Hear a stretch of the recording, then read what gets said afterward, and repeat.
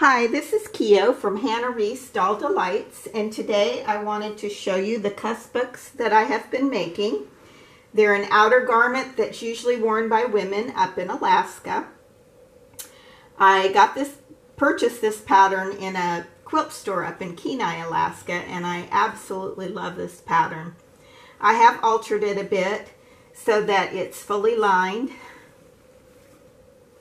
and the only exposed seam that is on this garment is this little part on the ruffle.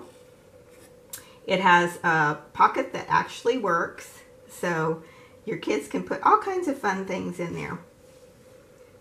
If you'd like to purchase this kuspuk and give it as a gift with a book, I have some uh, three great suggestions.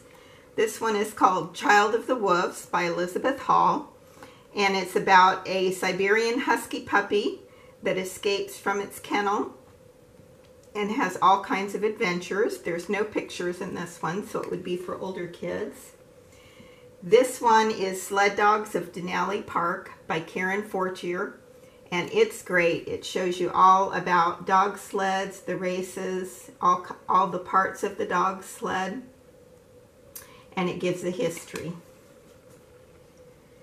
My favorite one for younger children is this one called Once Upon Alaska, a kid's photo book. And it is a great book filled with lots of um, great pictures from Alaska, animals, boating.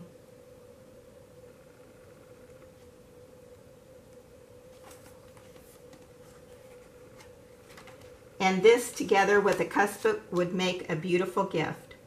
If you like this video, please subscribe to my YouTube channel. And the next video I'm going to do is how I made this dog sled. Thanks for watching.